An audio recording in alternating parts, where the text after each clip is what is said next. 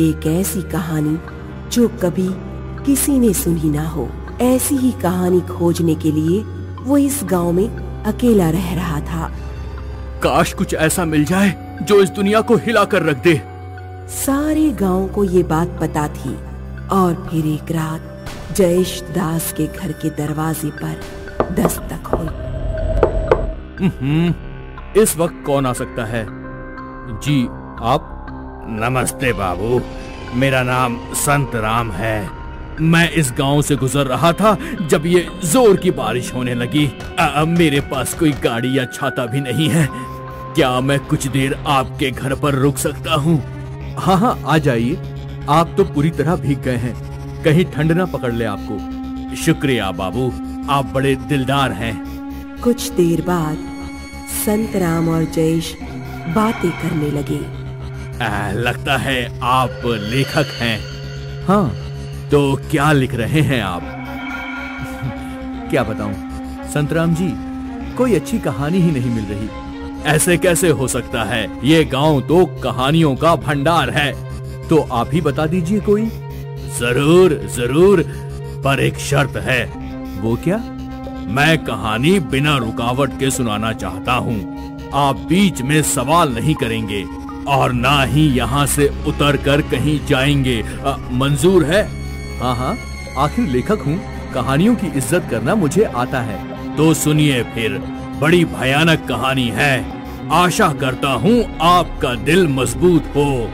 इस गाँव में करीब तीस साल पहले एक अजीब हादसा होने लगा था। बात उस सड़क की है, जो इस गाँव से पहाड़ियों तक जाती है।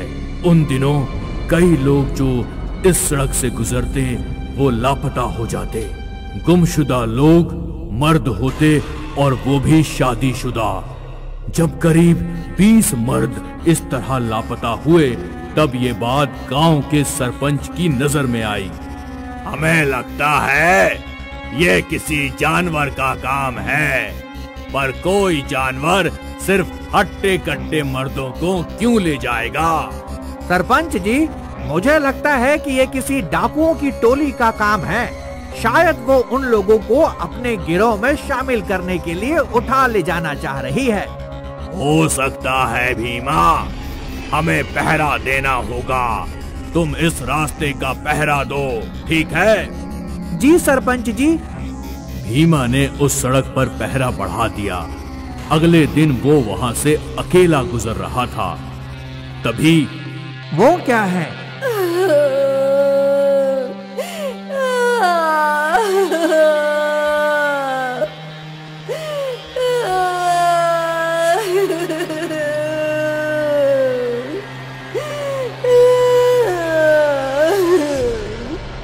बहन जी, आप कौन हैं?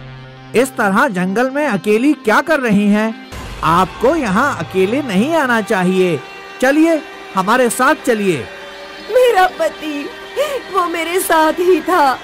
पता नहीं कहाँ चला गया।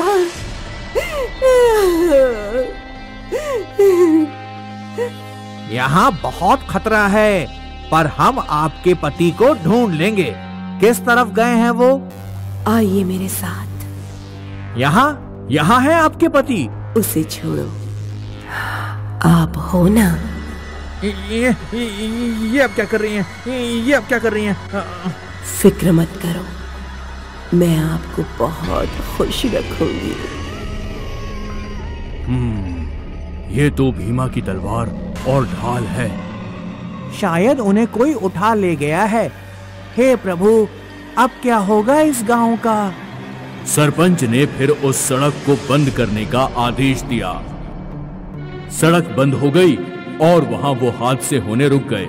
इस तरह लेखक जयेश दास संत राम की कहानी में बड़े मशगूल थे पर उस वक्त खिड़की के बाहर अचानक से एक बहुत बड़े काले साय को देखकर जयेश दास दंग रह गए। उन्होंने कुछ कहना चाहा पर संत राम की शर्त को याद करके वो चुप रह गए। अब तो आपको पता ही चल गया होगा कि वो औरत कोई साधारण औरत नहीं थी। असल में वो औरत एक डायन थी और डायनों में भी वो सबसे ताकतवर थी और शैतानी ताकत से भरी हुई थी। कहते हैं कि वो अपना रूप भी बदल सकती थी। कभी कभी वो एक बड़ी सी चिड़िया बन जाती, काफ़ी बड़ी चिड़िया जो एक घोड़े से भी बड़ी होती है और अपने तेज और मज़बूत पंजों से वो पूरे के पूरे आदमी को उठा ले जाती है। दूर पहाड़ों पर उसका घर था, जो एक घोसला था। इस घोसले में वो और उसके छोटे छोटे बच्चे रहते थे। उन आदमियों को वो वहाँ ले जाती और पूरा परिवार उस बेचारे आदमी को अपने चोंच से नोच नोच कर खा जाता। तो ये थी डायन की कहानी। क्या ये तुम्हारी किताब के लिए ठीक है? कहानी तो ठीक है पर पर वहाँ बाहर आ, आपके पीछे वो वो काला साया। तुमने ये नहीं पूछा कि मुझे ये सब पता कैसे चला? कैसे कैसे पता चला? आपको आप कौन हैं? आओ बताता हूँ। क्या करूँ? अब सड़क भी बंद कर दी है और मेरे बच्चे भी बड़े हो गए हैं। तो इस पापी पेट के लिए कुछ ना कुछ तो करना ही पड़ेगा ना। मतलब तुम तुम तुम वो।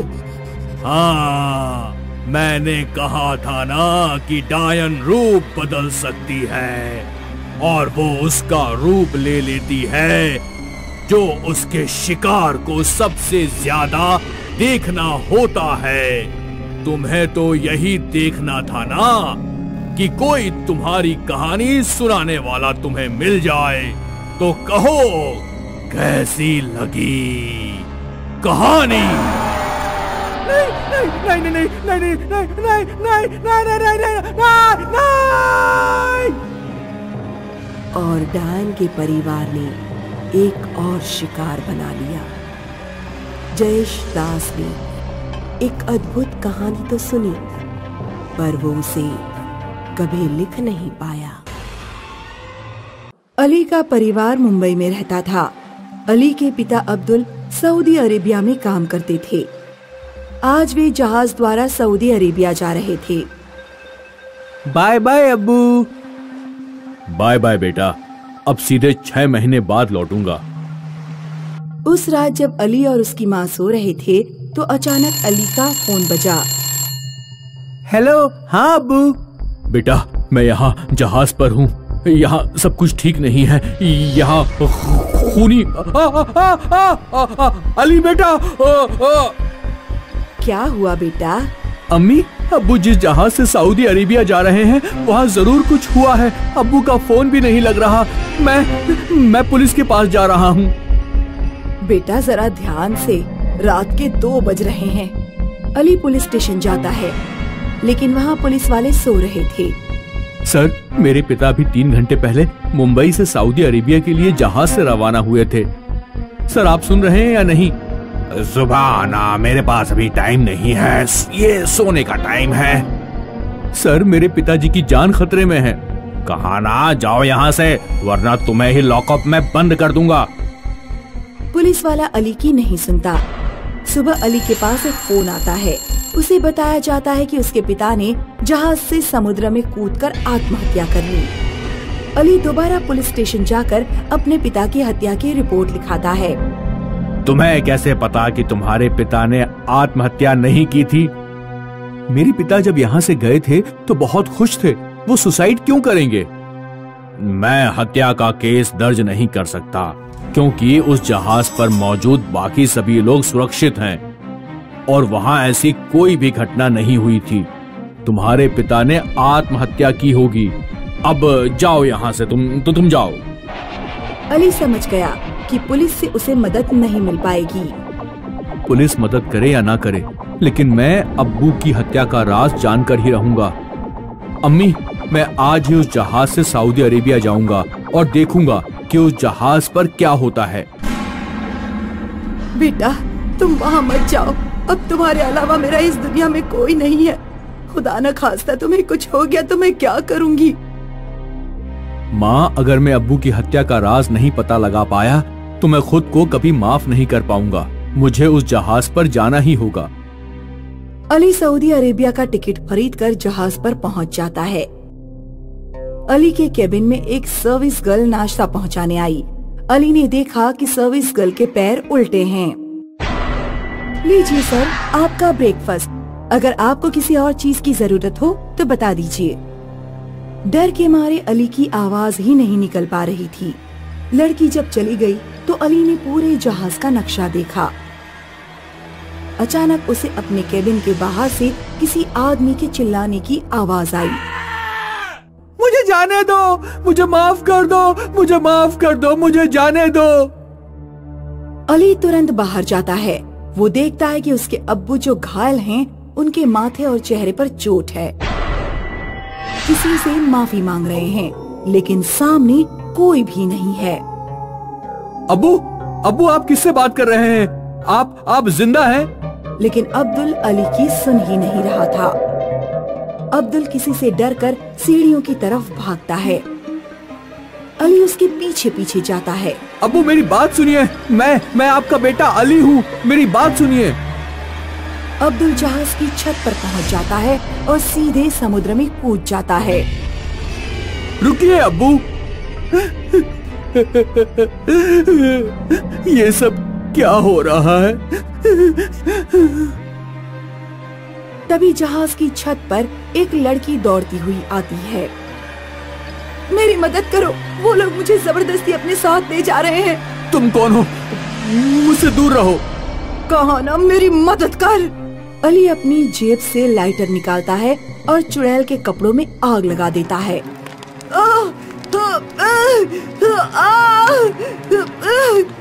यहाँ हो रही घटनाएँ ज़रूर मुझे कुछ बताना चाहती हैं। किसी ऐसे इंसान से बात करनी होगी जो जहाज़ पर हमेशा मौजूद रहता हो। अली जहाज़ के कप्तान के केबिन में जाता है और उसे अपने पिताजी अब्दुल के बारे में बताता है। अच्छा तो अब्दुल तुम्हारे पिता थे। एक दो बार मैं उनसे मिला था। सऊदी अरेबिया में एक ग्रुप काम करता है। माफ़ करना करता था। जो मुंबई से लड़कियों को उठाकर सऊदी अरेबिया ले जाता था और वहाँ उन्हें बेच देता था। तुम्हारे पिता उसी ग्रुप में शामिल थे। मैं भी उसी ग्रुप में शामिल था।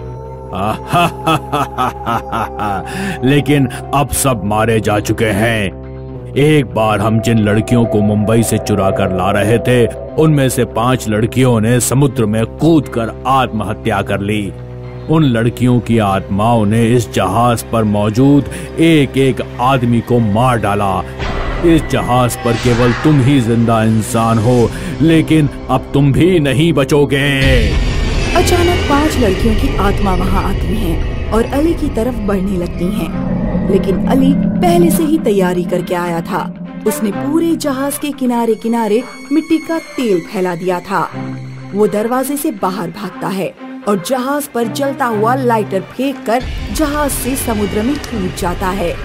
इस तरह अली भूतिया जहाज़ को खत्म करके अपने घर लौट जाता है और पूरी कहानी अपनी अम्मी को सुनाता है। ये कहानी मननगढ़ की है। मननगढ़ के तीन रास्तों को चुड़ैल के तीन रास्ते बोला जाता है, क्योंकि यहाँ सूरज ढलते ही चुड़ैल तांडव किया करती थी। सूरज ढलने के बाद अगर इस तीन रास्ते पर कोई दिखाई दिया तो चुड़ैल उसे घसीट घसीट कर मार डालती।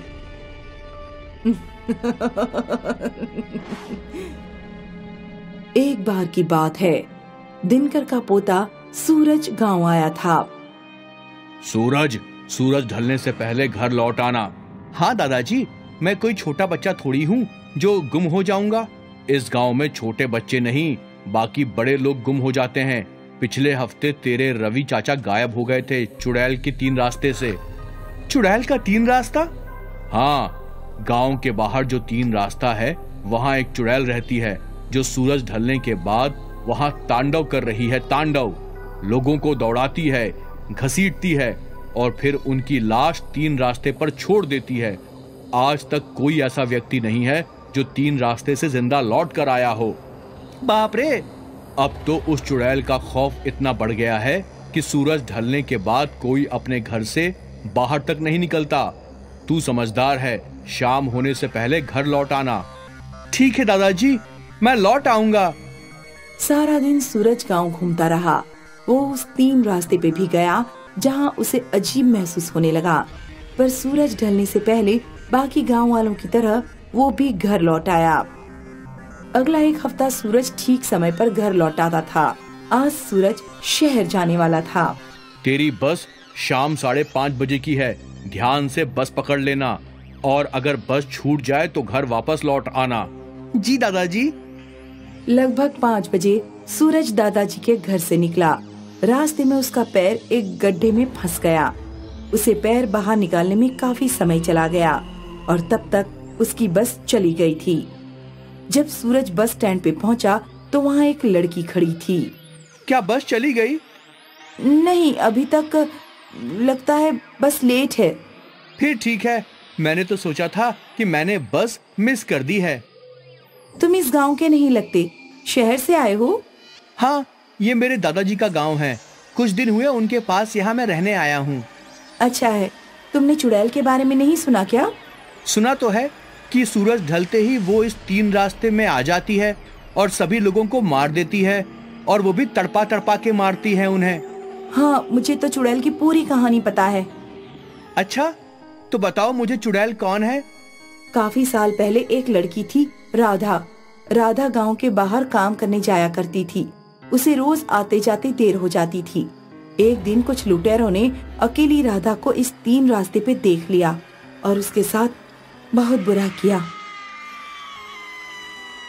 राधा ने खुद अपनी जान दे दी और तब से राधा चुड़ैल बन गई। ये सब तो मैं समझ गया लेकिन वो भोले भाले गाँव वालों को क्यों मारती है? वो मार रही है ताकि गाँव वाले समझ सके कि इस तीन रास्ते पे कोई अकेला ना आए। वो चेतावनी दे रही है। चुड़ैल चाहती है कि इस तीन रास्ते पे हमेशा लोग रहे ताकि किसी और राधा के साथ ऐसा हादसा ना हो सके। ये सब तुम्हें कैसे पता? सूरज के ये पूछते ही उस लड़की की मुस्कान बदल गई। वो हंसने लगी। क्योंकि मैं ही वो चुड़ैल हूँ। सूरज ढल गया था। लड़की चुड़ैल में बदल गई। चुड़ैल को देख सूरज डर गया और गाँव की ओर भागने लगा। चुड़ैल उसके पीछे पीछे भाग रही थी। बचाओ! कोई बचाओ मुझे! बचाओ! बचाओ! सूरज भागते भागते अपने दादाजी के घर गया और ज़ोर ज़ोर से दरवाज़ा खटखटाने लगा। दादाजी दरवाज़ा खोलिए! मुझे बचाइए!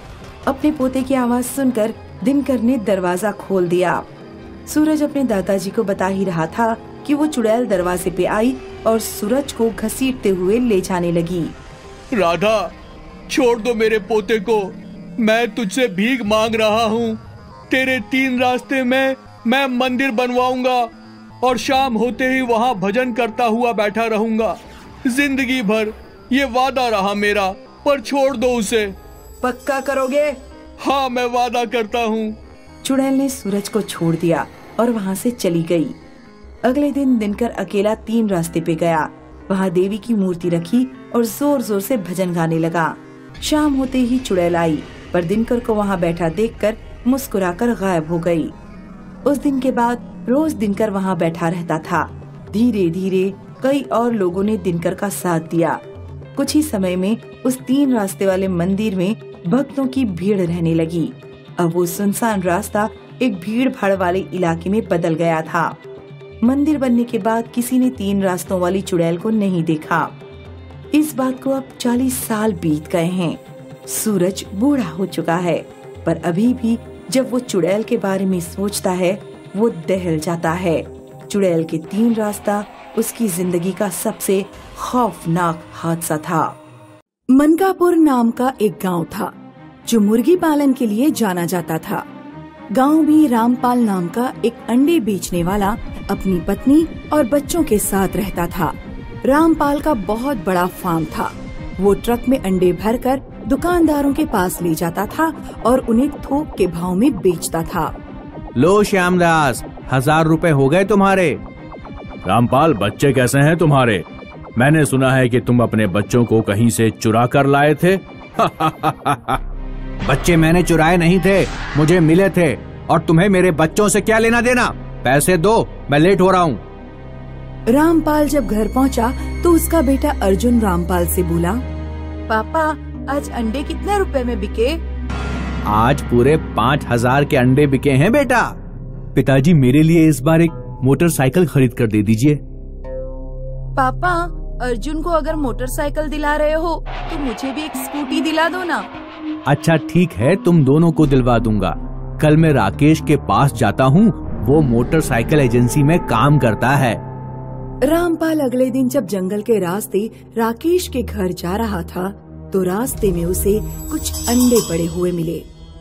अरे ये अंडे रास्ते में कहाँ से आ गए? रामपाल एक अंडा उठाता है लेकिन अंडा छूटकर धरती पर गिरता है और फूट जाता है। अंडे से जहरीला धुआँ निकलता है और रामपाल के चारों तरफ़ फैल जाता है। एक प्रेग्नेंट चुड़ैल रोते हुए वहाँ आती है और रामपाल को कोड़े मारने लगती है।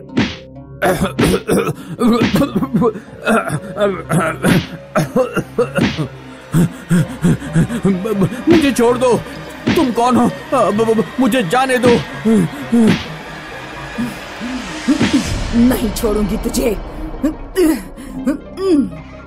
उधर से राकेश आ रहा था। राकेश ने देखा कि रामपाल किसी से बातें कर रहा है लेकिन आसपास कोई नहीं है। अरे रामपाल भैया क्या हुआ?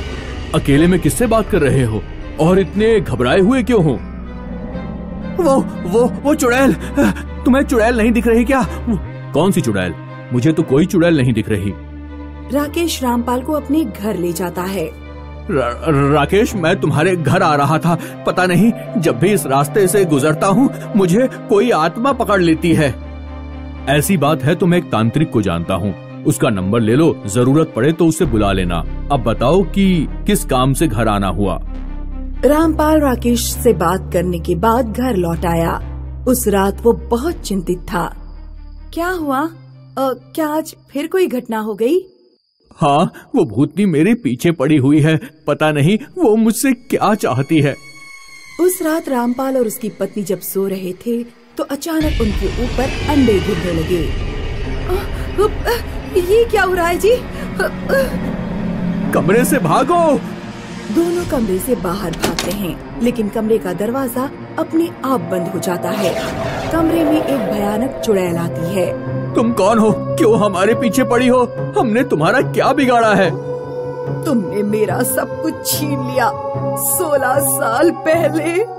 अचानक अर्जुन और पूजा दरवाज़ा खोल देते हैं। क्या हुआ माँ और पिताजी? कमरे में इतने सारे अंडे किसने फैला दिए? और आप लोग इतने डरे हुए क्यों हैं? कुछ नहीं हुआ, बच्चों। तुम लोग जाकर सो जाओ। अर्जुन और पूजा जाकर सो गए, लेकिन रामपाल और उसकी पत्नी को पूरी रात नींद नहीं आई। जब से बच्चे हमारे घर आए हैं, तब से वो चुड़ैल हमारे पीछे पड़ी हुई है। आज वो हमें नुकसान पहुंचाना चाहती है। कल ऐसा न हो कि वो हमारे बच्चों को नुकसान पहुँचाए। नहीं वो हमारे बच्चों को नुकसान नहीं पहुंचाएगी। इतने सालों में कभी भी वो अर्जुन और पूजा को दिखाई ही नहीं दी। उस चुड़ैल का अर्जुन और पूजा से क्या कनेक्शन है? तुम अर्जुन और पूजा को घर लेकर आए और तभी से चुड़ैल हमें परेशान कर रही है। तुम अर्जुन और पूजा को चुड़ैल से मत जोड़ो। चुड़ैल का हमारे बच्चों से कोई लेना देना नहीं है। ये एक संयोग हो सकता है कि जब अर्जुन और पूजा को मैं घर लाया तो चुड़ैल भी पीछे पीछे हमारे घर में आ गई। तभी अचानक घर के अंदर से अर्जुन और पूजा की चीखने की आवाज़ आती है। मम्मी, पापा, बचाओ!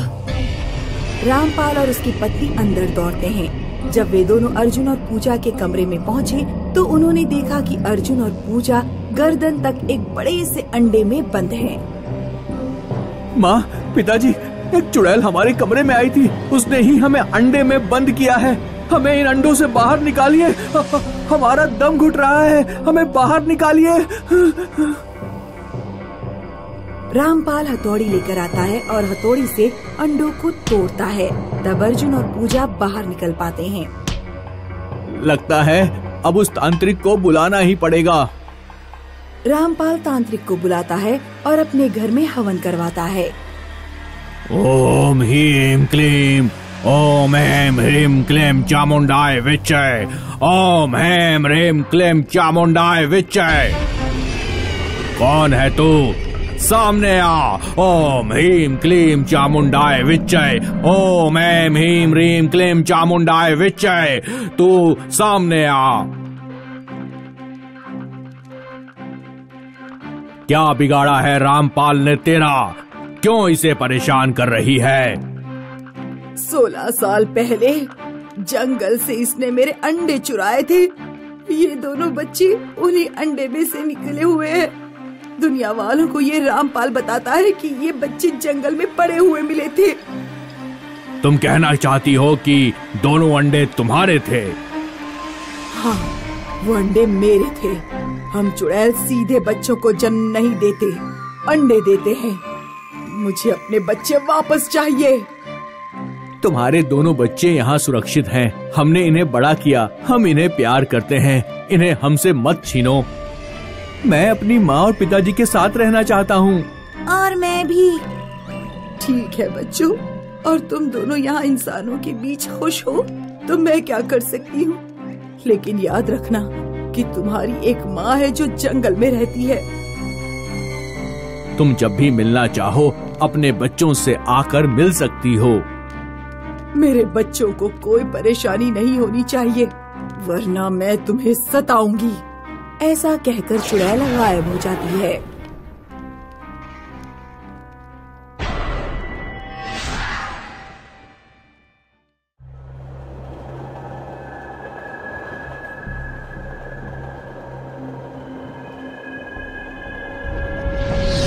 ऐसा सुहाना बारिश का मौसम। ये लंबी ओवरनाइट ट्रेन की यात्रा बहुत अच्छी तरह से कटने वाली है।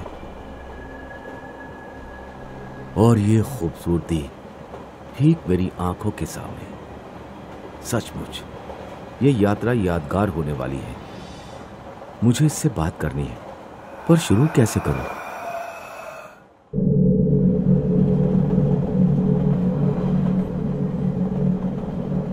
सुनिए आप ठीक है आप पहले कहिए। ना जी आप। सॉरी लेडीज़ फ़र्स्ट ओके मैं तो यही पूछने वाली थी कि आप कहाँ तक जा रहे हैं? मैं बद्री स्टेशन पर उतरने वाली हूँ। वो सुबह पाँच बजे लगने वाला है। सोच रही थी कि अगर मेरी आँख लग जाए तो क्या आप मुझे जगा देंगे? वाह क्या बात है। मैं भी बद्री ही जा रहा हूँ। फिर तो ठीक है। हाँ शायद आज रात हम दोनों में से किसी को नींद ही नहीं आएगी। आप अकेली यात्रा कर रही हो? हाँ और आप? मैं भी। हाय मेरा नाम आशुतोष है और आपका? दिव्या और कहिए आशुतोष आपकी शादी हुई है? नहीं क्या मैं इतना परेशान लगता हूँ आपको? और आपकी? हाँ सौ साल पहले।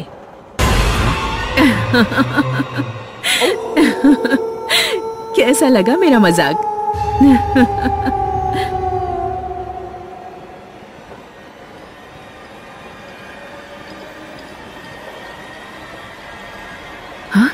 Ticket ticket ticket ticket. अरे डरो मत दिव्या। टीसी है।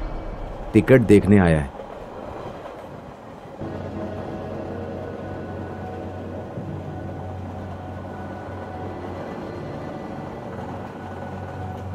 लगता है तुमने टिकट बहुत पहले से बुक करा रखा था।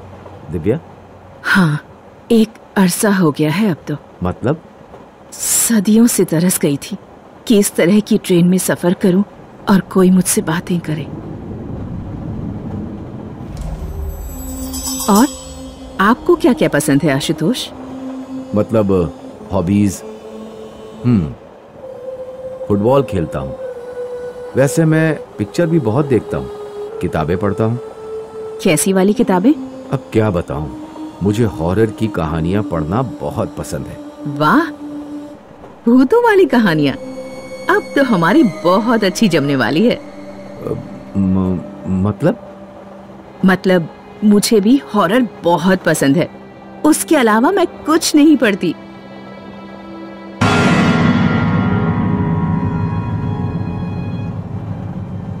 सब लोग बच के रहना बच के रहना।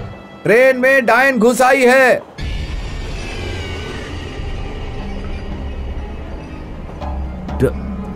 डायन? छोड़ो आशुतोष वो लड़का शायद पागल होगा। ट्रेन में ऐसे पागल लोग घूमते रहते हैं। मगर उसने डायन कहा तुम्हें डर नहीं लगता? उसमें क्या डरना? मुझे ऐसी चीज़ों से डर नहीं लगता। क्या यही वो डायन तो नहीं? क्या सोच रहे हो आशुतोष? इतनी ठंडी में भी तुम्हारा पसीना छूटने लगा? नहीं नहीं कुछ नहीं। हमें अब सोना चाहिए। बहुत देर हो गई। लेकिन अभी तो ग्यारह ही बजे हैं। नींद आ रही है। सुबह जल्दी उठना भी है।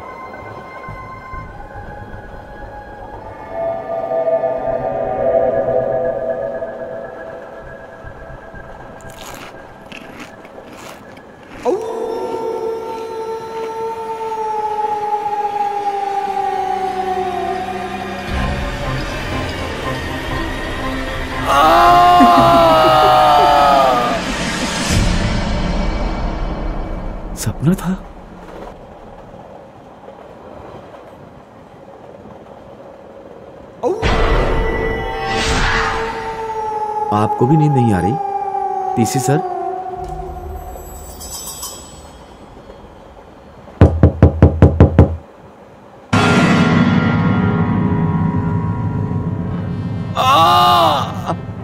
क्या हुआ? किसी ने किसी ने उस लड़के को मारा। तुम यहाँ हो आशुतोष? तुम ही चीखे थे अभी? क्या हुआ? इसी ने यही है वो। इसी सर इसी ने इस लड़के को मैंने क्या? मैंने क्या? तुमने उस लड़के को मार डाला? और अब तुम मुझे भी मार डालोगी? तुम सबको खा जाओगी? ये तुम क्या बातें कर रहे हो? पागल हो गए हो क्या? तो ये देखो। जी क्यों रही हो? तुम ही ने इसे मारा है। तुम औरत नहीं डायन हो।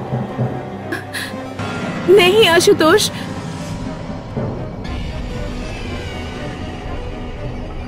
डायन वो नहीं मैं हूँ। नहीं! पर क्यों? क्योंकि इसी ट्रेन ने मुझे वर्षों पहले कुचलकर मेरी ज़िंदगी ले ली थी। अब मैं इस ट्रेन में बैठे किसी को भी नहीं छोड़ूँगी। नहीं ऐसा मत करो।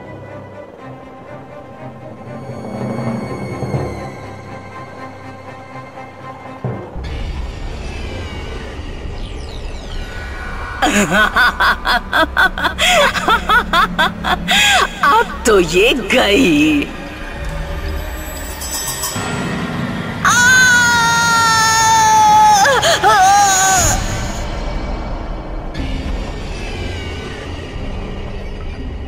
क्या वो क्या वो स, स, सच में? फ़िक्र मत करो दिव्या। सब ठीक हो जाएगा।